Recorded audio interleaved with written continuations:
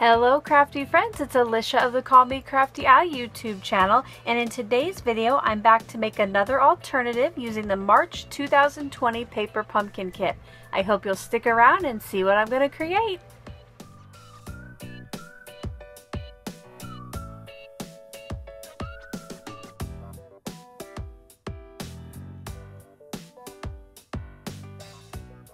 Thanks so much for stopping by today. If this is your first time to my channel, I hope that by the end of this video, you'll be inspired to click on that subscribe button below and maybe even tap on that bell for notifications. As always, if you're already a subscriber and regular viewer, welcome back. I'm so glad that you're here again.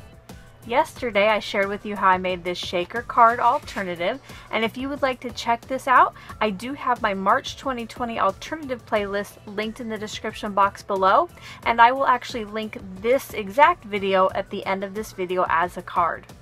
For today's card I am basically using only items that are in your kit the only exceptions would be my tools that I'm going to be using, and I will be using one of my full-size white card bases to create this card. From the kit, I will be using the large cloud stamp, along with the sentiment that says, no matter the weather, we're in this together.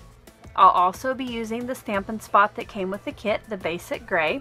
For the main part of the card, I will be using this pre-printed card that came with the kit the circle punch out that's stitched, the pair of rain boots, and this little floral embellishment.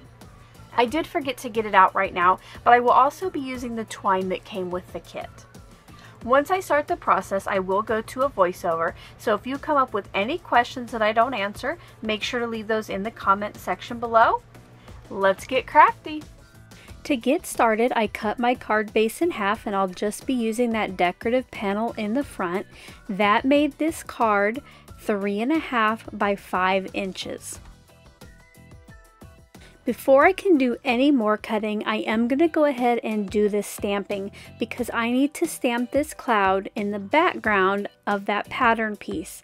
Now because this basic gray ink spot comes out pretty dark, I will be stamping it off on this scrap of paper before I stamp it onto my card. So I'll stamp off and then I'll stamp right onto that card front. And then I just repeat this same process for two more clouds. Now you will notice for my stamping that I pulled out this black Sizzix mat and I think it's called the Stamper's Secret Weapon. This is awesome to use when you have clear mount stamps. It gives just that little bit of extra cushion beneath your paper so you get a nice crisp image. Now if you don't have this, you can always just use an old magazine or an old phone book if you have that and put it under the piece you're stamping and then you'll have a little cushion still. Once that background piece was stamped, I then stamped my sentiment onto the circle die cut, and for this one I will not be stamping off, I just stamped it at full strength so the sentiment is nice and clear. Now that all of the stamping is done, I'm going to start cutting my background panel for the card front. Starting at the top of the piece, I'm going to cut off 5 eighths of an inch at a time. So you'll see here that I'm actually using the lines on the left of my trimmer and each time I'm just scooting it down to the 5 eighths or 0.625 inch mark. That is the mark that is halfway between a half an inch and 3 quarters of an inch and then I just trim you will want to make sure on this, since it is a pattern, that you keep track of your pieces from top to bottom, so later you can get those put on the card front correctly. Now you'll see here in just a second, the guard starts catching where my fingers are. I can no longer hold on to the paper while I trim, but I have a solution for that. You have seen me use it before, but I got out my Scotch Blue removable tape and I actually just used a piece that I already had sitting around. I got my paper aligned on the trimmer where I wanted to cut it, stuck that down with the blue tape, and then I could cut this off exactly where I needed it to be. And then later, when I pull that tape off my paper, it does not remove any of the image or the coloring. This stuff is very handy. Now it is time to start building the card.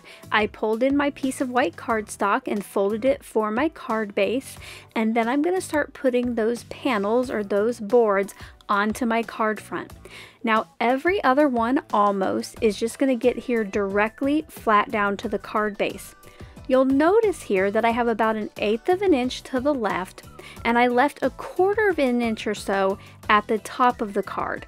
And depending on how large you cut your slats or how big your original piece is, you can adjust this. Now my next piece, I'm going to use that same piece of Scotch Blue removable tape to temporarily hold that in place. That is because later I'm actually going to use foam tape to pop this off the card, but I want to make sure that this next panel that I lay down, it is exactly where it needs to be. Now, once I've laid this third panel down, I can pull up that first and reuse that piece of scotch tape. Now you'll notice that I'm kind of going back and forth on these and I make sure that each time I place the panel to the right that I leave the same border on the right of the card as I leave to the left of the panels that are adhered straight down. I continue this until the end and then you'll notice at the end the last two panels because of how I'm going to decorate it later get adhered flat down to the card. I do not pop up that final piece.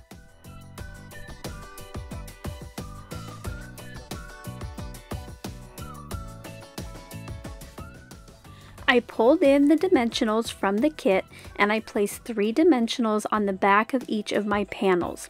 Once I had those in place and I had removed the liner, I then placed these onto the card front, making sure that I had the correct panel for where it went and I also made sure the orientation was correct so it would match up with that piece above it.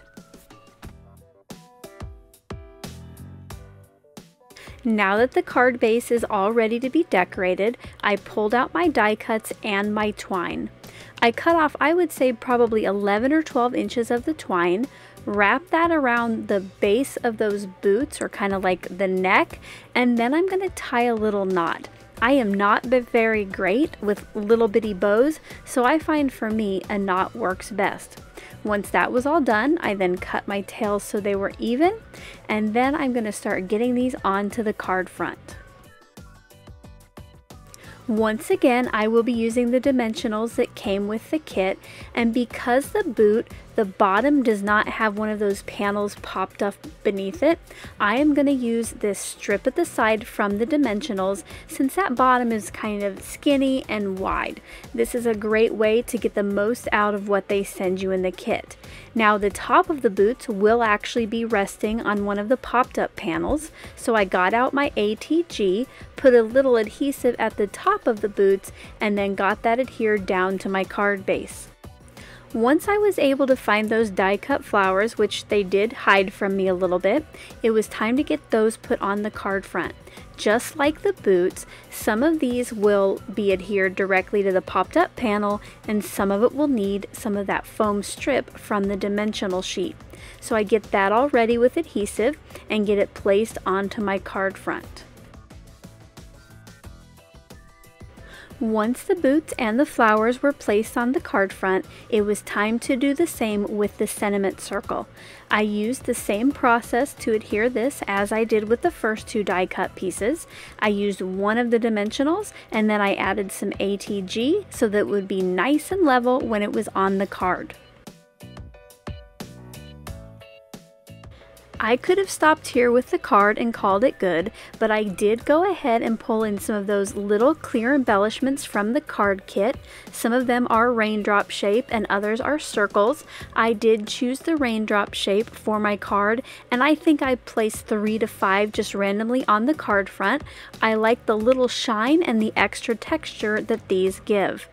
And here are some close-ups of the final card.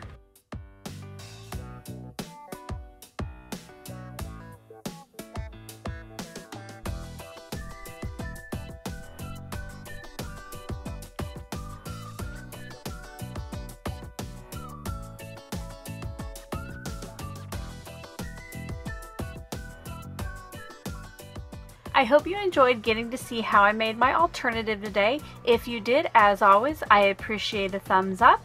Until my next video, I hope you're all having a crafty day. Bye-bye. Thank you so much for taking the time to watch all the way to the end of the video. I hope that you'll consider clicking on one of the videos or playlists I have linked above, and if you're interested in any of the products or tools that I use in the video, I do have some links in the description box.